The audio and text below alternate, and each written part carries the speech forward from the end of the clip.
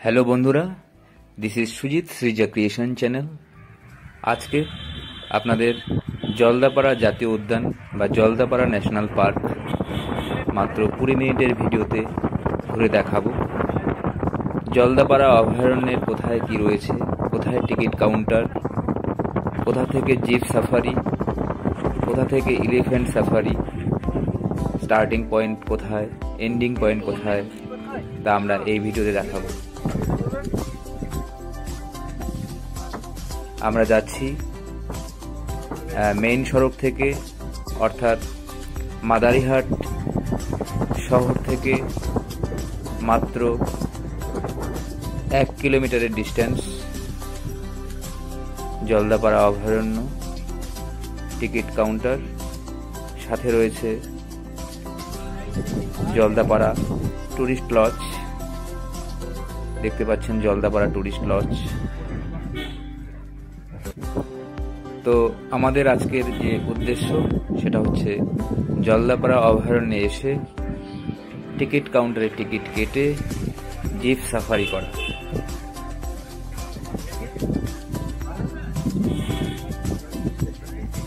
এটি হচ্ছে জলদাপাড়া অভয়ারণ্য ঘোরার জন্য যে জিপ সাফারি, তার পার্কিং এরিয়া, আমরা এসে পৌঁছলাম। টিকিট কাউন্টারে টিকিট কাটতে হবে। আগে অনলাইন টিকিট বুক করতে হয়। অনলাইনে টিকিটটা যদি বুক না করা হয়, তাহলে হয়তো টিকিট কাউন্টারে এসেও আমাদের টিকিট সংগ্রহ করতে আমরা পারব না। কারণ প্রত্যেকটা জিপে চারজন করে অ্যালটমেন্ট নির্ধারিত করা থাকে।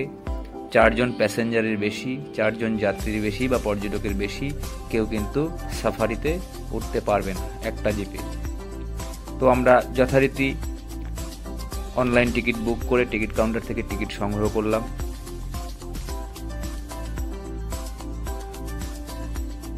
এখন আমাদের জিপ সাফারি শুরু হবে। আমি ডেসক্রিপশন বক্সে দিয়ে দেব কোথা থেকে কীভাবে টিকিট কাটবেন এবং টিকিটের মূল্য কত। আপনারা ডেসক্রিপশন বক্সে নিচে দেখে নেবেন। তো আমরা জিপ সাফারিতে উঠে আমাদের যে উদ্দেশ্য, আমাদের যে গন্তব্য, প্রত্যেকটা ভিউ পয়েন্ট অর্থাৎ যেখান থেকে আমরা অ্যানিমালসগুলোকে খুব কাছ থেকে উপভোগ করতে পারব। তো আমরা জিপ সাফারিতে রওনা দিয়েছি। আমরা জলদাপাড়া ন্যাশনাল পার্কের যে মেইন এন্ট্রান্স যেখান থেকে সাফারিটা শুরু হয়, সেখানে এসে কিছুক্ষণ দাঁড়ালাম। ফ্রন্ট গেট এটা জলদাপাড়া অভয়ারণ্যের বা জলদাপাড়া ন্যাশনাল পার্কের মেন গেটটা রয়েছে এখানে। এটা এন্ট্রি পয়েন্ট এখান থেকে সাফারিটা ভেতরে যাওয়ার যে পারমিশন এখান থেকে জিপ সাফারির যে ড্রাইভার সে পাশে এক কাউন্টার রয়েছে। কাউন্টারে গিয়ে পারমিশন নিয়ে সেখান থেকে একটা কুপন নিয়ে সে কিন্তু তার জিপ, সেখান থেকে আবার স্টার্ট তো দেখতেই পাচ্ছেন মেন সড়কের পাশেই।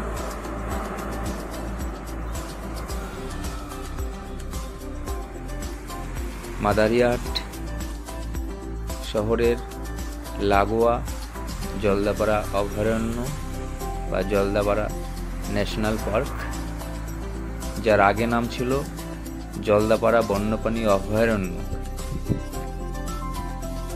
এটা main gate Jaldapara national park তো আমরা শুরু করলাম আজকের ভ্রমণ।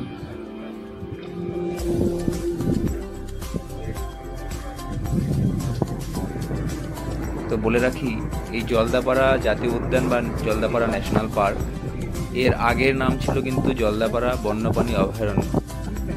এটি ভারতবর্ষের পশ্চিমবঙ্গের আলিপুরদুয়ার জেলায় অবস্থিত। এটি পূর্ব হিমালয়ের পাদদেশে অবস্থিত একটি জাতীয় উদ্যান। সমুদ্রপৃষ্ঠ থেকে একষট্টি মিটার উচ্চতায় তোরসা নদীর তীরে এই জলদাপাড়া জাতীয় উদ্যানটি অবস্থিত। এই অভয়ারণ্যের সামগ্রিক যে আয়তন সেটা একশো একচল্লিশ বর্গ কিলোমিটার। তো আমাদের সাফারি শুরু হয়ে গেছে।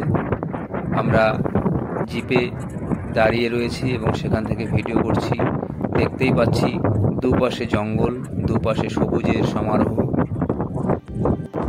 দুপাশের গাছ রয়েছে, প্রচুর গাছ, মাঝে রাস্তা, চাপা রাস্তা। সেই রাস্তা দিয়ে আমাদের জিপ এগিয়ে চলছে। এই যে বনাঞ্চলটি আমরা দেখতে পাচ্ছি, এটি মূলত নদী কেন্দ্রিক। আমাদের জিপ চলতে চলতে হয়তো হঠাৎ কোথাও দাঁড়িয়ে পড়বে, কারণ যারা জিপের যে ড্রাইভার রয়েছে এবং আমাদের যে হ্যাঁ আমরা এগিয়ে যাচ্ছি। তো এখনও আমাদের চোখে তেমন কোনো কিছু অ্যানিমালস চোখে পড়েনি।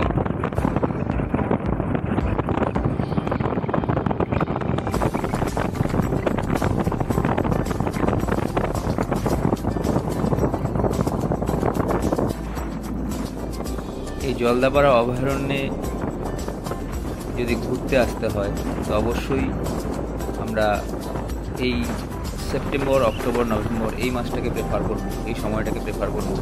কারণ এই সময়ে বৃষ্টির কোনো সম্ভাবনা নেই। আর বর্ষাকালে এটা অফই থাকে।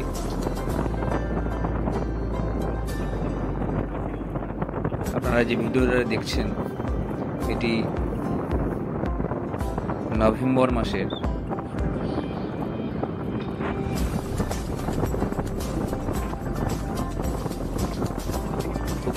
ওয়েদার দুপাশে সবুজ আর সবুজ গাছপালা। আমাদের জিপ এগিয়েই চলছে।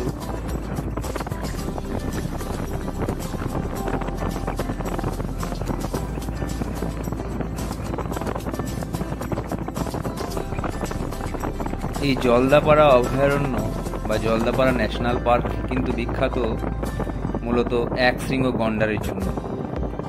তো আমরা দেখতেই পাচ্ছি আমরা সামনে যে স্পটটা দেখতে পাচ্ছি ভিউ পয়েন্টটা দেখতে পাচ্ছি সেটা হচ্ছে হলং লজ হলং লজ যারা এলিফেন্ট সাফারি বা হাতি সাফারি করবে তারা কিন্তু ডিরেক্ট এই হলং লসে এসেই তারা কিন্তু সেখানে স্টে করে। এবং সেখান থেকে এলিফেন্ট সাফারি স্টার্টিং হয় মূলত মর্নিং খুব সকালবেলা। তো আমরা হলং লসে এসে আমাদের যে জিপ সেটা পার্কিং করে ওখানে যে ভিউ পয়েন্টটা রয়েছে আমরা দেখতে পাচ্ছি দূরের থেকে অনেকটা দূর। আমি চেষ্টা করছি সেখানে বাইসন ইয়েস বাইসন দেখতে পাচ্ছি আমরা। বাইসন দেখতে পাচ্ছি এবং অনেকগুলো বাইসন রয়েছে। এখানে যারা বনকর্মী আমাদের সঙ্গে রয়েছে তারা বলছে যে এই বাইসনদের যে খাবারটা দেওয়া হয় সেটা কিন্তু লবণ। লবণটা খুব পছন্দ করে। হলং লস। এখানে থাকতে হলে অবশ্যই অনলাইন টিকিট বুক করতে হয়। আমরা হলং লস থেকে আবার রওনা দিলাম। এই যে পয়েন্টটা দেখতে পাচ্ছেন, এটা কিন্তু এলিফ্যান্ট সাফারির জন্য। হাতিতে উঠতে গেলে এখানে উঠেই কিন্তু তবেই এলিফ্যান্ট সাফারিটা সম্ভব। ওকে আমরা এগিয়ে যাচ্ছি। আবারও সেই পথ দুধারে বনভূমি, মাঝে সরু গলি।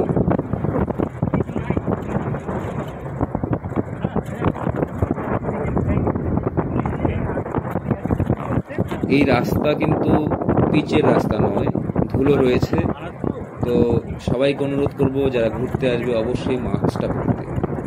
কারণ যদিও জিপ সাফারি সেভাবে পরপর জিপগুলো থাকে না।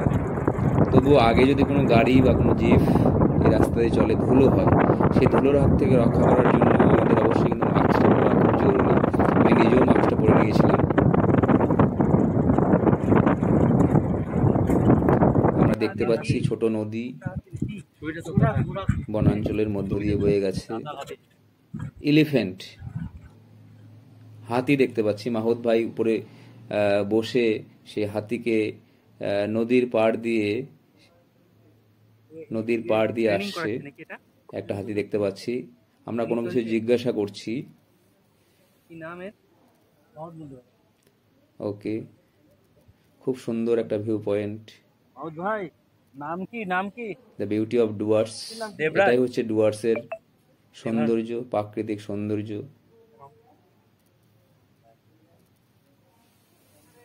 ও জলে নামবে নাকি ভাই জলে নামবে এই যে এখানে একটা ছোট আছে এই একটা বড় আছে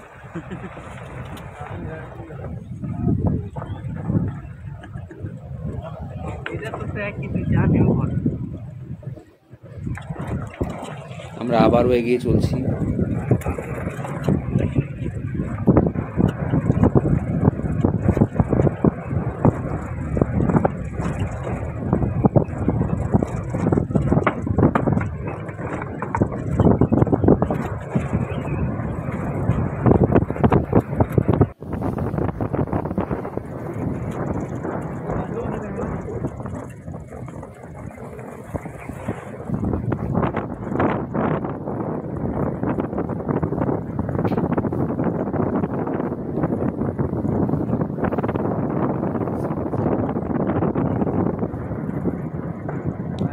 আমরা চলার পথে বাইসন অনেক দেখছি, কিন্তু এখনও কিন্তু আমাদের সামনে এক শৃঙ্গ গন্ডার, যেটা হচ্ছে জলদাপাড়া অভয়ারণ্যের মূল আকর্ষণ। সেটা কিন্তু এখনও চোখে পড়েনি। আমরা যখনই যাচ্ছি রাস্তার দুধারে বাইসন প্রচুর বাইসন বাইসন আমরা দেখতে পাচ্ছি।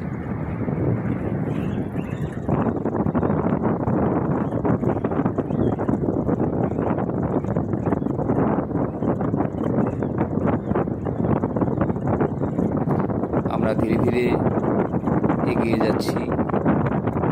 এটাই হচ্ছে আমাদের জিপ সাফারি। প্রচুর বাইসন।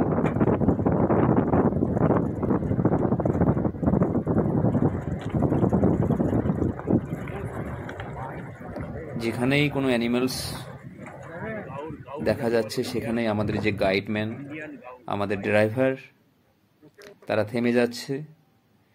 এবং তারা চেষ্টা করছে যে আমরা যেহেতু দূরের থেকে এসেছি, টিকিট কেটে অন্তত অ্যানিমেলসগুলোকে উপভোগ করতে পারি কাছ থেকে। তো গাইডম্যান এবং ড্রাইভার, তারা খুবই হেল্পফুল। তারাও আমাদের সঙ্গে কোঅপারেশন করে তারাও চেষ্টা করছে আমরা অন্ততপক্ষে ডুয়ার্সের এই জঙ্গলটাকে যাতে উপভোগ- করতে পারি। আমরা বাইসন দেখতে পাচ্ছি।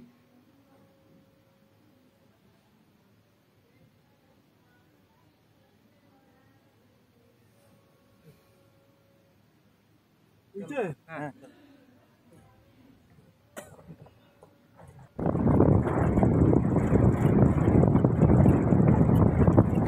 এবারে আমাদের জিপ এগিয়ে চলছে ওয়াচ টাওয়ার।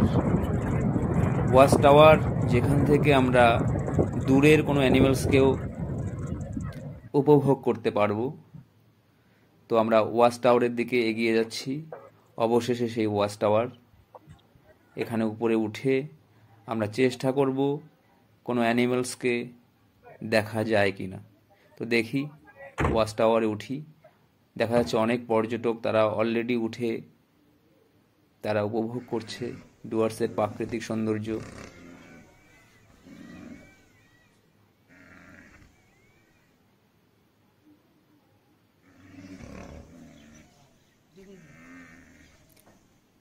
আমরা দেখতে পাচ্ছি ইয়েস যেটা ডুয়ার্সের প্রধান আকর্ষণ। যে কারণে জলদাপাড়া ন্যাশনাল পার্ক বিখ্যাত। এক শৃঙ্গ গন্ডার। এক শৃঙ্গ গন্ডার। দুটো গন্ডার তারা আমরা চেষ্টা করছি যতটা সম্ভব ক্যামেরাকে জুম করে ছবিটাকে, ভিডিওটাকে আপনাকে আপনাদের সামনে উপস্থাপন করতে। দুটো গন্ডার, টু রাইনো। তারা চেষ্টা করছে একে অপরের সঙ্গে। আচ্ছা আমরা রাইনো উপভোগ করলাম।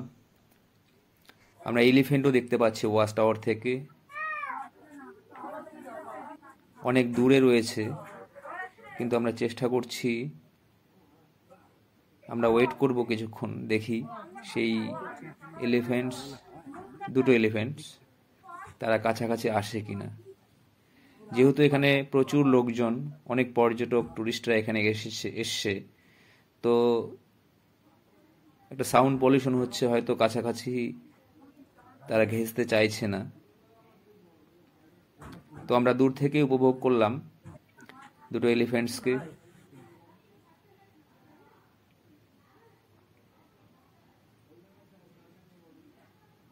এই সেই ওয়াচ টাওয়ার।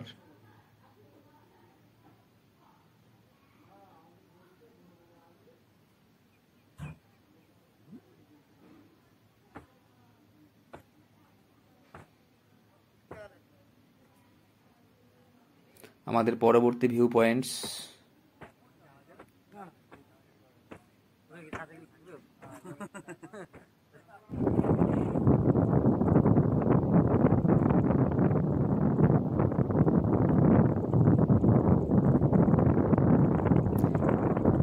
আপনারা দেখছেন জলদাপাড়া জাতীয় উদ্যান বা জলদাপাড়া ন্যাশনাল পার্ক।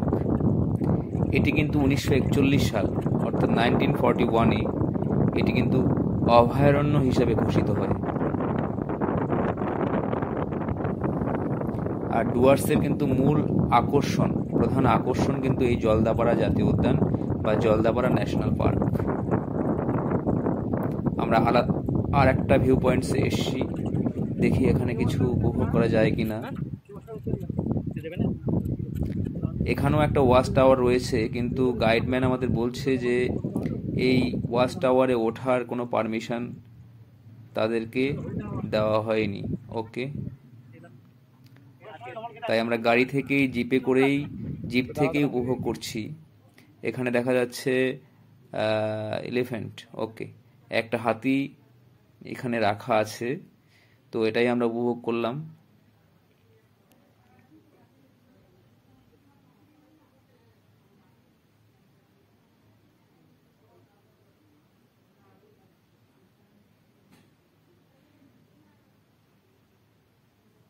আমরা ময়ূর দেখতে পাচ্ছি, পিকক।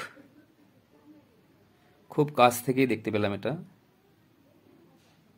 প্রচুর পিকক রয়েছে জলদাপাড়া অভয়ারণ্যে।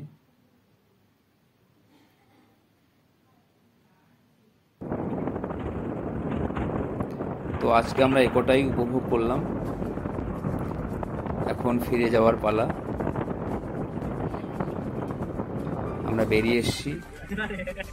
বেরিয়ে এসে আমাদের যে